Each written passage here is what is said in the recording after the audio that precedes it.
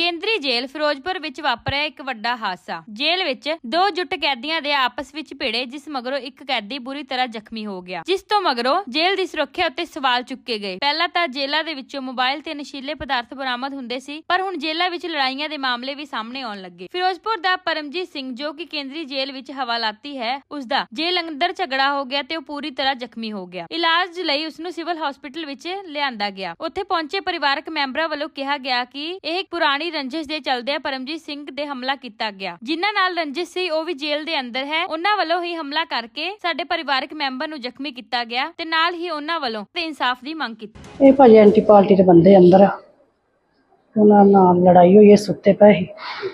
ਉਹਨਾਂ ਨੇ ਕਿਰਚਾ ਕੁਰਚਾ ਮਾਰ ਕੇ ਉਹਨਾਂ ਨੂੰ ਜ਼ਖਮੀ ਕੀਤਾ। ਸੱਟਾਂ ਭਾਜੀ ਬਹੁਤ ਆ, ਲੱਗੀਆਂ ਨੇ ਵੇਖਿਆ ਆ। ਟਾਂਕੇ ਟੁੰਕੇ ਲੱਗੇ ਚੰਗੇ ਆ। ਬਿਮਾਰ ਤਾਂ ਪਹਿਲਾਂ ਵੀ ਰਹਿੰਦੇ, ਹਾਰਟ ਦੀ ਪ੍ਰੋਬਲਮ ਉਹਨਾਂ ਨੂੰ ਹੈ। ਇਹਨਾਂ ਨੂੰ ਹੋ ਗਏ 15 ਕੁ ਦਿਨ ਹੀ ਹੋਏ ਮੇਰਾ ਸਨਮਦੀਪ ਸਿੰਘ ਹੈ, ਪਿੰਡ ਰੁਕਣੇ ਵਾਲਾ ਜੀ, ਫਾਦਰ ਸਾਹਿਬ ਆ ਜੀ।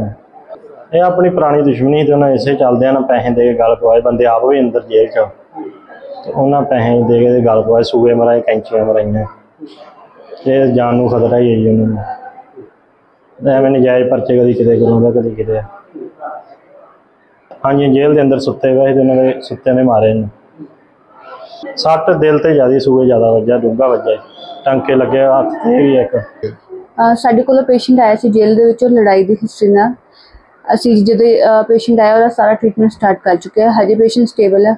ਬਾਕੀ ਇੰਜਰੀਜ਼ ਵਗੈਰਾ ਨੋਟ ਕਰ ਚੁੱਕੇ ਹਾਂ।